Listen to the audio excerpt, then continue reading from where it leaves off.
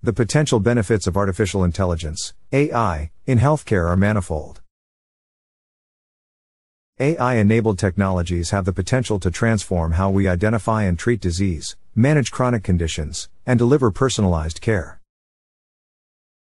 AI can help us more quickly and accurately identify patterns in data that can lead to new breakthroughs in medical research. Healthcare is an industry that is constantly evolving and growing.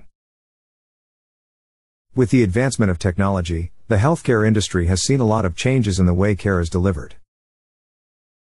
One of the most recent and exciting changes has been the introduction of artificial intelligence, AI, into the healthcare industry.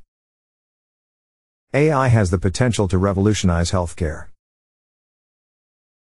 Its applications range from automating administrative tasks to providing personalized care and treatment recommendations.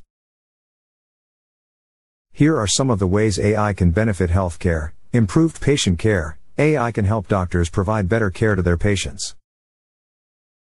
For example, AI can be used to collect and analyze patient data, which can help doctors make more informed decisions about diagnosis and treatment.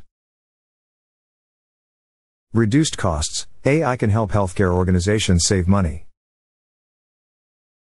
For example, AI can be used to automate administrative tasks, such as insurance claims processing. In addition, AI can be used to improve the efficiency of care delivery, which can reduce the overall cost of care.